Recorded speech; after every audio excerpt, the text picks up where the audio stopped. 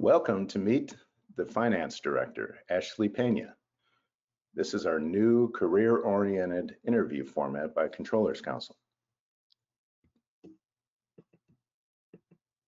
My name is Neil Brown, Controller Council Executive Director. Before I introduce our Finance Director, allow me to cover some brief housekeeping items.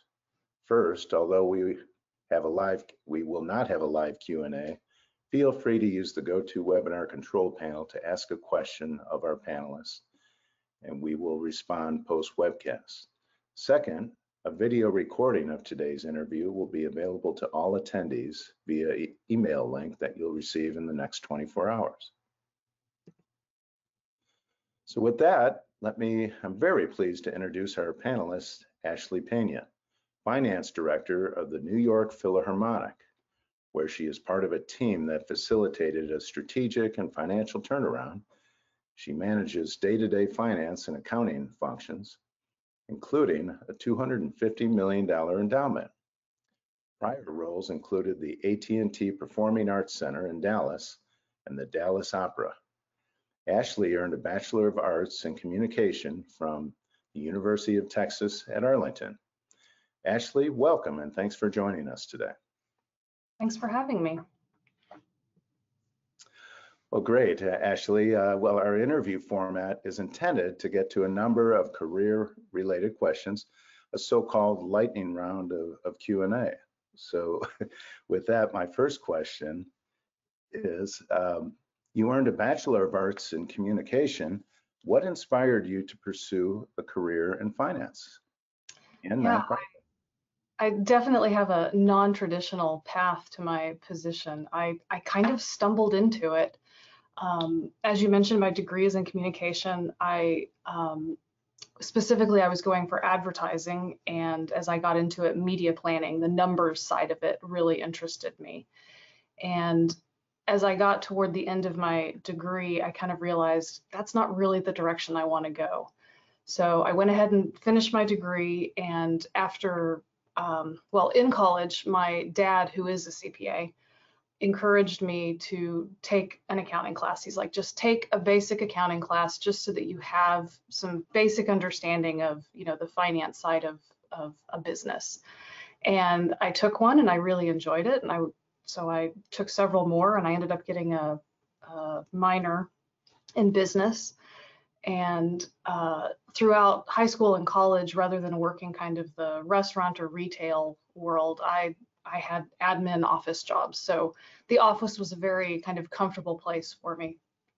And after I graduated, I took a job working uh, basically accounts payable for a couple of entrepreneurs who had uh, they ran five small businesses out of the one office. So I from there, I was recruited to my first nonprofit role for the National Society of Hispanic MBAs, and I ran accounts payable, and it's kind of been nonprofit and finance and accounting ever since.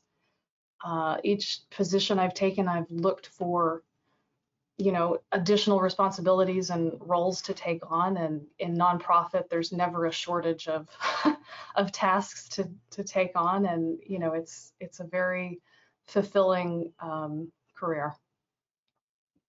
Neat. So, well, let's uh, dig into that a little bit more. What uh, are the roles and responsibilities of a, of a finance director, and how do they, how might they differ for a not-for-profit? So, uh, a finance director is responsible for all of the accounting functions of the company: payables, receivables, payroll, uh, revenue recognition. I coordinate and oversee the annual tax return, the audit. In my particular case, there's also a large FP&A component. I built and managed um, the long range forecast and a cash flow model. It's one of my biggest responsibilities is to support, support my team and make sure that they have the tools and the information that they need to accomplish their responsibilities. I I really like to dig in and understand the mechanics of our business so that I can design and maintain systems and processes that efficiently get the numbers in the right place. My job is to connect the information that I have with the people who need it. Um, the finance director serves a, a unique and I consider privileged role in an organization because I I interact with every functional level of of the company. So I'm speaking to, you know, the production team, the artistic team, the orchestra personnel manager. Um, so I really get to learn about, you know, how the how our business works and that helps me understand what tools my budget managers need to be able to more effectively manage their budget. Um, I take that information that I get back to my team and, you know, to make sure that they know what programs are happening and how we're going to account for it. And they help me map out a plan for how we're going to get it recorded. Um, I guess the one of the differences for maybe a for-profit is, you know, we have um, we have grants that we have to manage too. Uh, there's a lot of, um, you know, the earned revenue versus the contributed revenue. That's a little bit different, and you know how we might recognize that if is it's if it's deferred or temporarily temporarily restricted. Um, but I, it's a it's a connector role. Gotcha. Neat. Interesting. So I've got to ask, um, you mentioned uh, in your bio the financial turnaround. Do you think uh, part of that was due to the pandemic? I mean, the orchestra had to have been closed for one year, maybe even two years. Yeah, that was a it was an interesting time to come into the company. I came in um, about six months before COVID hit. I was Wow. recruited uh, by the COO at the time to uh, facilitate and help with this with this turnaround plan that was a board directed. Like we need a we need a strategic plan. So um, I came in and we had just finished putting those numbers together in March of 2020 and we were going to present later that month to the to the executive committee to to launch our strategic plan. And covid hit and broke everything that was in the plan.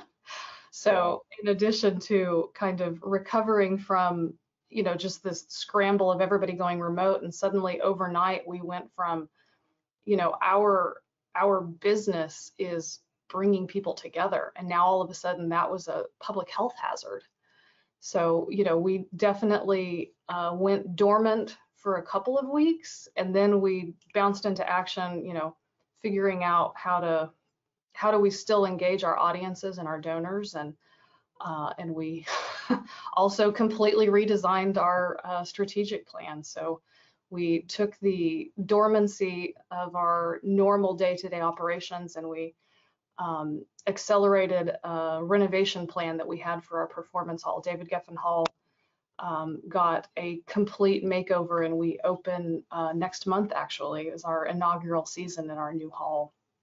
So it it was a very challenging and a little bit scary time, but I think that on the other side of it, we're going to come out stronger and we'll have a, a new beautiful home to welcome everyone back.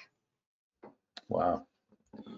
Yeah, that must have been just a tumultuous uh, period uh, for you